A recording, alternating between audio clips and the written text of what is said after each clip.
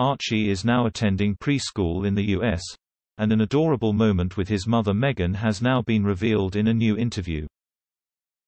In an insightful article for magazine The Cut, journalist Allison P. Davis wrote, Somehow Archie knows his mother is at the gate of his preschool before the teacher even throws it open to set him free.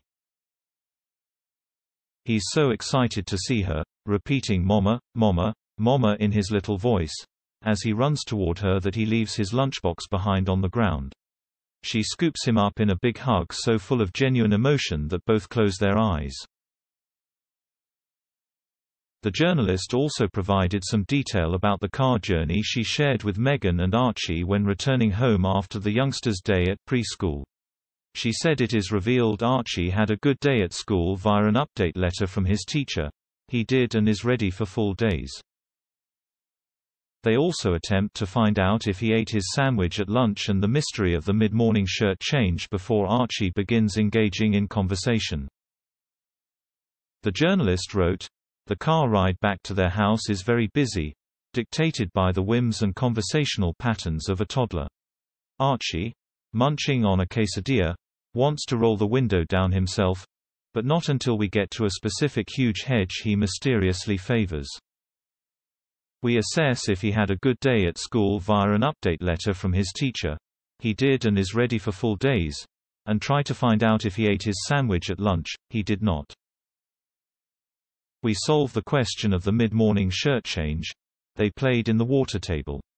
Why are you afraid of heights like an airplane? Archie asks, and that leads to a conversation about the importance of being brave.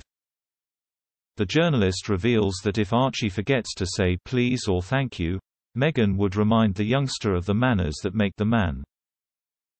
When they stop at traffic lights, Meghan takes a brand new black backpack from the boot of the vehicle they are traveling in and hands it to a member of her security to give to a homeless man on the corner.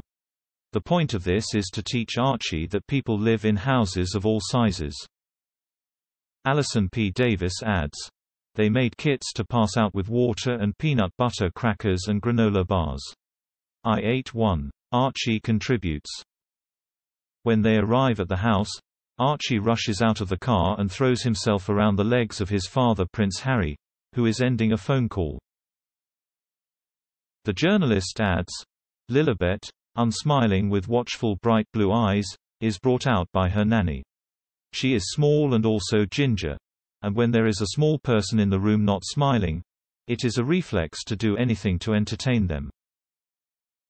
Harry starts dancing to his own beatboxing, and Meghan bends down and joins in and then I find myself doing it too. Until she gives a lopsided smile and we all realize it's a bit strange to be bonding in this way.